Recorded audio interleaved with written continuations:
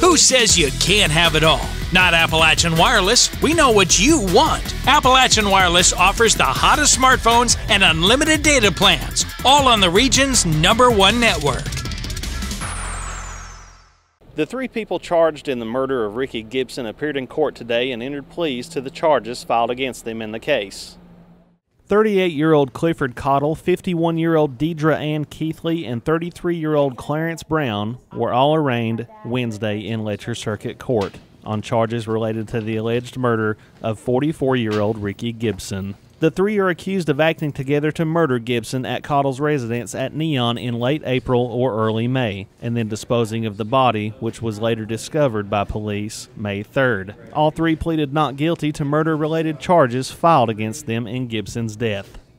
We do acknowledge receipt of the indictments, waive any further formal arraignment, and enter a plea of not guilty to all charges in both cases. Okay, we'll accept your not guilty plea. Cottle is facing a charge of murder, and Keithley and Brown are charged with complicity to murder. All three are also charged with tampering with physical evidence for allegedly disposing of Gibson's body.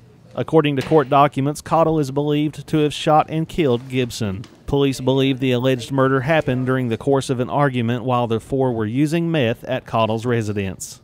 At Wednesday's hearing, a pretrial conference was scheduled for October 31st. Also, at Wednesday's hearing, a visit to the site of the alleged murder was also scheduled for prosecutors and the defense. It shows you the look, you know, how many rooms, how close was a certain room. I mean, like I said, you can see a photograph of a bedroom or a, a living room or whatever, but until you go in there and you say, well, this is a fairly large or a fairly small, or I think I could see from here or I could hear from here, you know, you learn things like that.